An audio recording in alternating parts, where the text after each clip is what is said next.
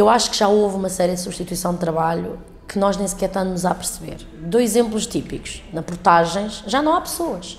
E houve ali duas ou três manifestações, mas a verdade é que todos nós passamos agora nas portagens, pomos moedas ou passamos o cartão e dá-nos igual. Pá, nós vamos aos supermercados todos os dias e não dizemos eu quero um desconto porque sou eu que estou a passar o meu produto. A verdade é que há, há menos pessoas ali. Há menos pessoas em, em mil sítios que já têm automatismos. Por isso eu acho que, que, os, que os robôs vá, vão ser uma realidade, isto é óbvio, acho que pensar que eles não vão existir, mas eu acho que, que se tudo correr bem, claro que a humanidade tem sempre a parte dark e a parte boa, se tudo correr bem, eles vão ocupar os nossos lugares naquele trabalho manual e aborrecido que ninguém gosta de fazer.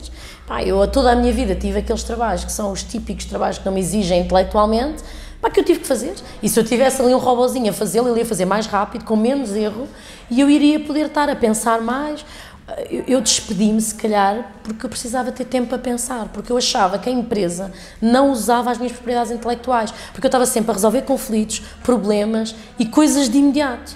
E, eu sentia tipo o meu cérebro estupidificou, ele cristalizou porque eu não estou a usá-lo e a empresa não está a usá-lo em, em, em, seu benefício. E ela, quando usa, eu acho que sou mais rica. Se eu tivesse ali um robô que pudesse ter resolvido estas coisas, eu tinha sido muito feliz. Claro que depois o humano tem sempre a parte mais boa, não é? Pá, os robôs puderem ser usados para guerras, puderem ser usados pá, para matar. Claro que há todo, toda essa teoria da conspiração. Eu espero, eu acredito que o humano, apesar de ter muitos defeitos, porque tem, e está a destruir o planeta e está a fazer coisas muito mais, também tem uma parte boa e eu vou acreditar que os robôs vão, sim. Uh, outro dia houve uma discussão muito grande mal a minha, porque estava-se a falar dos robôs e, e, eles diziam, está bem, mas imaginem as pessoas que são empregadas de limpeza, se houverem robôs a limpar, essas pessoas vão ficar sem emprego e elas não têm qualificações para ver outra coisa. É verdade, é verdade. Eu pensei assim, Foz, nunca tinha pensado nessa vertente, que é, há uma série de pessoas que infelizmente não teve possibilidade de ter um curso superior e não têm outras qualificações e ninguém as vai empregar.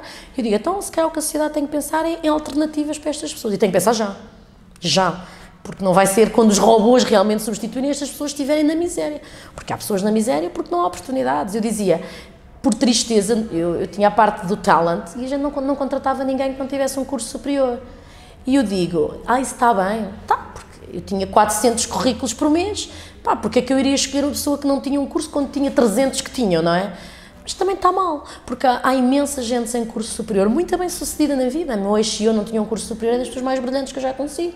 Uh, eu conheço muita gente, pessoas que estão a fazer eh, código, são brilhantes e não têm cursos superiores. E a gente mata uma sociedade toda que não tem cursos superiores. Por isso, cá devia haver cursos de especialização, devia haver, e, e, nós devíamos abrir um bocadinho a mente do se calhar eu quero uma pessoa hiperdigital, se calhar não é com curso superior que ela vai ser.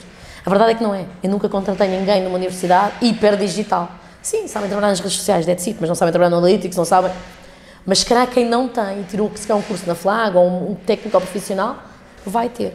Um, por isso eu acho que os robôs sim vão aparecer, esperemos que sejam para, para ajudar a sociedade e não para, para matar-nos a todos e substituírem-nos. Eu acredito que vou ver uma parte boa porque acho que nós temos aquele equilíbrio do mal e do bom que vamos sempre equilibrando mais para o mal e um bocadinho menos para o bom. Pronto. Esperemos realmente que na Coreia não estejam a montar um exército de robôs, como se diz, eh, que nos vão matar a todos. Pá, espero não observar isso.